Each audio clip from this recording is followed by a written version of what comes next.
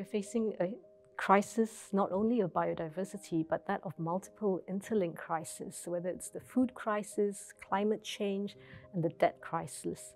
And of course, all these crises actually impact developing countries and uh, marginalized peoples in developing countries, such as peasants and indigenous people and women, disproportionately.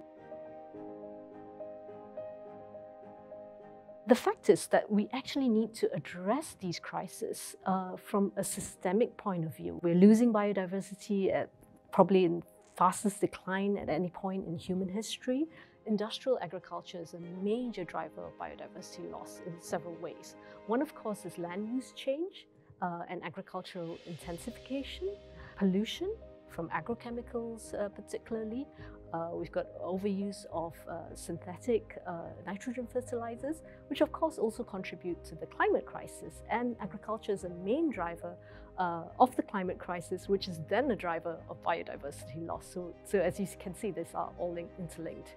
Agroecology is really about the management, the sustainable management of agricultural biodiversity. It's rooted in biodiversity and it brings about multifunctional benefits.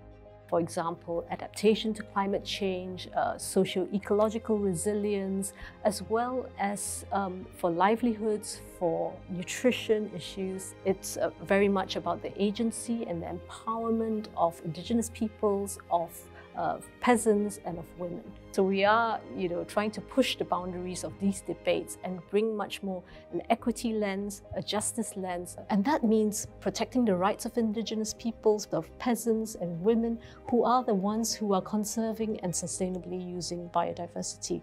The evidence uh, shows that uh, biodiversity is best uh, protected in indigenous peoples' lands and territories. It's absolutely paramount that their rights are protected uh, as well as the rights of peasants.